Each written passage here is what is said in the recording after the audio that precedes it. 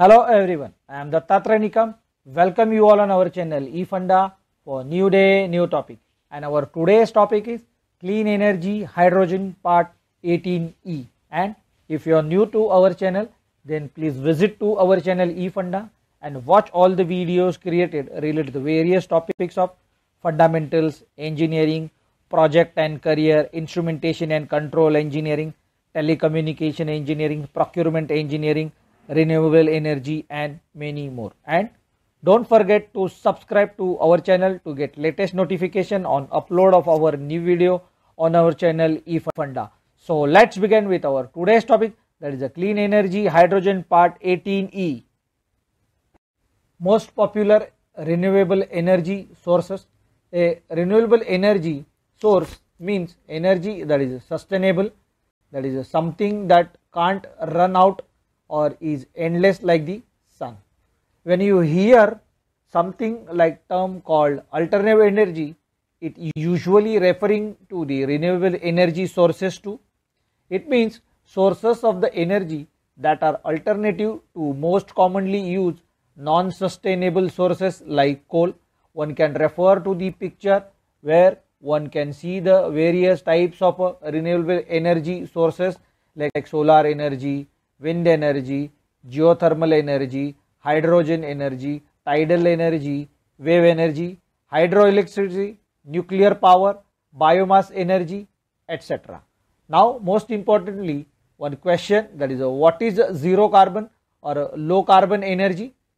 A nuclear generated electricity isn't renewable but it's a zero carbon which means its generation emits low level or almost no CO2 just like renewable energy sources. Nuclear energy has a stable source which means it's not dependent on the weather and will play a big part in getting net zero status. Clean energy, hydrogen. Hydrogen is the simplest element on the earth and it is the first element on a periodic table consisting of one proton and one electron. One can refer to the picture where one can see the definition of a hydrogen that is a non-metal. The lightest element on earth, it is also the most plentiful element in the universe despite its abundance.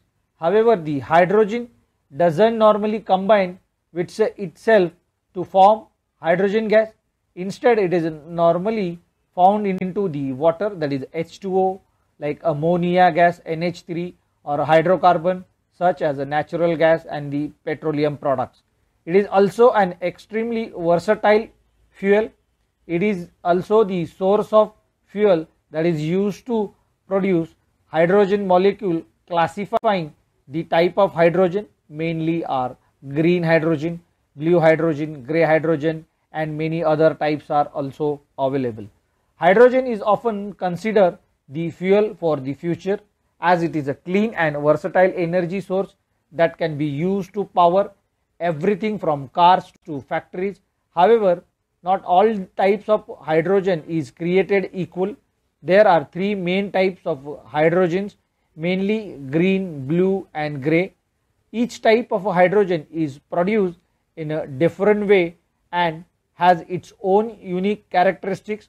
One can refer to the production process where renewable energy is generated in the form of electrical then electrolysis hydrogen which gives use hydrogen then hydrogen storage then hydrogen charging stations where one can have the opportunity to have the hydrogenation fcvs where the electrical energies are required and further it is gone to the residential spaces where the electrical energy is required hydrogen cycle and a process is driven by the method of the renewable energy electrolysis, hydrogen, hydrogen storage, hydrogen charging station, FCEVs and residential spaces which we have just seen. Moving on to the topic of BEVs versus FCVs, one can refer to the picture where it's available from Prescotter, BEVs versus FCVs. How do they compare? One can see the comparison which we'll see the later. Now moving on to BEVs, battery electric vehicle and all electric vehicle is powered exclusively by a battery operated electric motor which is charged via power grid that it does not require any fossil fuel. This means that locally vehicle is 100% emission free. BEVs stand for battery electric vehicles. FCVs fuel cell electric vehicle. A fuel cell vehicle that is FCV is an electric car that uses fuel cell sometimes in a combination with a small battery or a super capacitor or to power its onboard electric motor. Most fuel cell vehicles are classified as a zero emission vehicle that emit only water and heat. FCVs mainly rely solely on an electric motor but like BEVs electricity is generated from hydrogen fuel cells rather than the batteries. Hydrogen fuel cells generates electricity by combining hydrogen with oxygen like the BEVs. FCVs is 100% emission free locally. Now to the comparison, one can see the charging and refueling time, safety, cost saving and well to wheel emission that is emission of a CO2. One can see the comparison how it is getting benefited. The issues with hydrogen production even though the combustion of hydrogen fuel is carbon free, the production of hydrogen is not necessarily so. The term grey, blue and green hydrogen used to describe the level of the carbon emission into the production of the hydrogen gases. One can refer to the picture where green hydrogen, blue hydrogen and green hydrogen is shown where for the grey CO emitted while reforming fossil fuel as a natural gas blue hydrogen capturing and storing CO2, green hydrogen, net zero emission of a CO2 that is the ultimate goal. One can refer to the other picture where one can see the production cycle where reformed hydrogen by the use of a natural gas and H2O that is reforming H2 and CO2 are getting separated.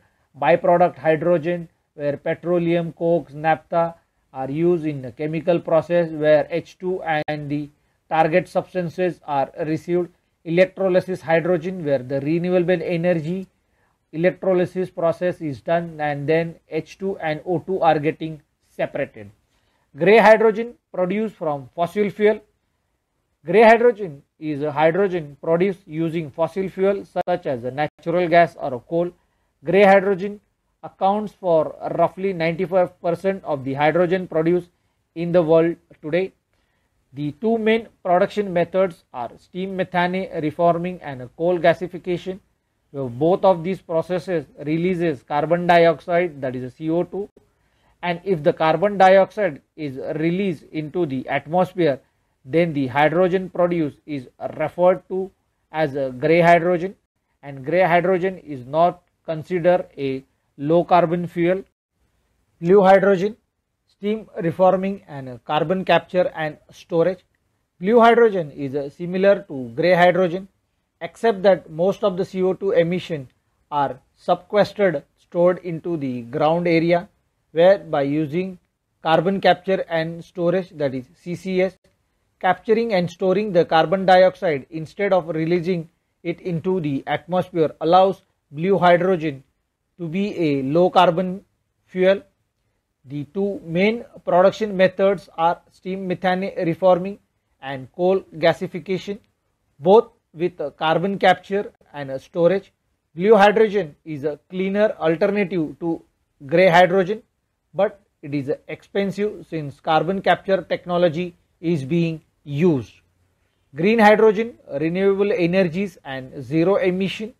Green hydrogen is hydrogen produced using electricity from clean energy sources. Green hydrogen is considered low or zero emission hydrogen because it uses energy sources such as wind and solar which don't release greenhouse gases when generating electricity.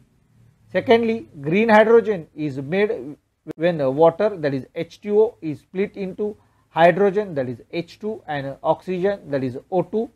Water splitting is also known as electrolysis and it requires an energy input. The method of supplying electricity to split water is an expensive process but much more environmentally friendly compared to the production of a grey hydrogen. after seeing the renewable energy sources, production of the hydrogen process, BEVs versus FCEVs, then the issues with the hydrogen production. Now we have reached to the uses of hydrogen, the now and the future. The now 95% of hydrogen is being used in oil and ammonia production. One can refer to the picture sources WHA International.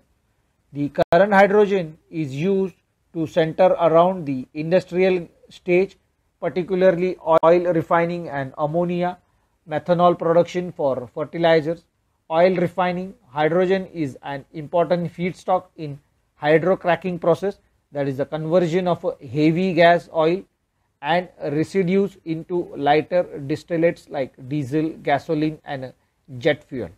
Ammonia production that is hydrogen is a key material in ammonia production which in turns is an important component in fertilizing manufacturing.